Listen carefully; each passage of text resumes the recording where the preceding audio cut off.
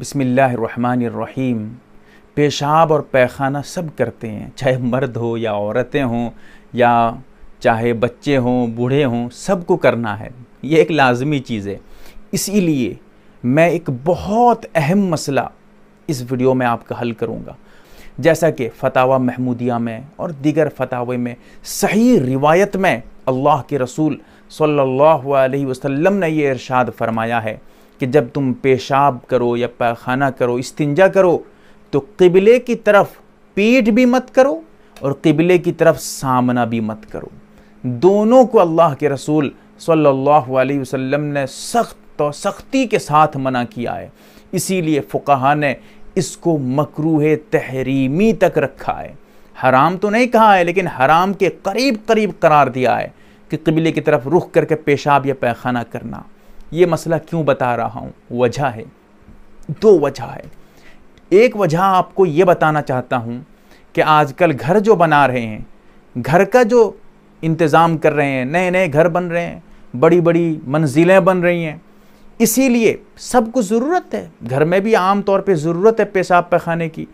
تو یہ جو پیشاب پیخانہ جب آپ گھر بنائیں گے، خاص طور سے یہ دھیان رکھیں، یاد رکھیں کہ پیشاب اور پیخانہ اس طور پہ بنائیں کہ پیخانہ یا پیشاب کرتے وقت آپ کا رخ یا آپ کا پیچھا قبلے کی طرف نہ ہو۔ اس کا دھیان رکھ کر گھر بنائیں۔ دوسری بات، چھوٹے چھوٹے بچوں کو جو ہے پیشاب کرایا جاتا ہے۔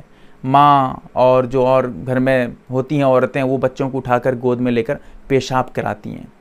ان کے لیے بھی یہ تعلیم، یہ سیکھ، ان کو بھی یہ بتائیں کہ وہ بھی جب بچے کو پیشاب کرائیں، قبلے کی طرف بچے کا منہ بھی نہ کریں، بچے کا پیٹ بھی نہ کریں۔ کیونکہ اگر بچے کو تو کوئی گناہ نہیں ہوگا، لیکن کرانے والے کون ہیں؟ یہ تو بڑے ہیں، یہ تو سمجھدار ہیں، اسی لیے ان کی پکڑ ہوگی۔ اسی لیے چاہے بچوں کو کرائیں، چاہے بوڑھے کریں، چاہے مرد ہوں، چاہے عورتیں ہوں، سب کے لیے یہ خور یا بالکل یاد رکھنا ہے آپ کو کہ جب آپ پیشاب اور پیخانہ کریں، کیونکہ سفر میں جب آدمی رہتا ہے، کہیں راستے پہ جاتا ہے، دھیان سے نکل جاتا ہے، جدھر ہوا ادھر پیشاب کر دیا۔ نہیں، اس وقت بھی آپ کو یاد رکھنا ہے۔ اسی لیے اس کو یاد رکھیں اور جب بھی آپ پیشاب یا پیخانہ کریں اور دوسروں کو بھی بتائیں، لوگ جانتے نہیں ہیں۔ وہ جدھر چاہتے ہیں ادھر کر دیتے ہیں۔ ان کو کیا پتہ ہے کہ اسلام میں کیا صحیح ہے، کیا غلط ہے؟ علماء سے تو رابطہ ہوتا نہیں ہے۔ تو کہاں سے سمجھیں گے؟ اسی لیے آپ لوگوں کی ذمہ داری ہے ان کو بھی بتائیں کہ صحیح طریقے سے پیشاب ایک میری مستقل ویڈیو ہے۔ بیت الخلاء جانے کا طریقہ by M A R B دینی معلومات۔ چینل کا نام مار دیجیے گا، میری ویڈیو آئے گی۔ اس میں میں نے تفصیل کے ساتھ ایک ایک جز آپ کے سامنے رکھا ہے۔ اللہ تعالی ہمیں سمجھتا کرے۔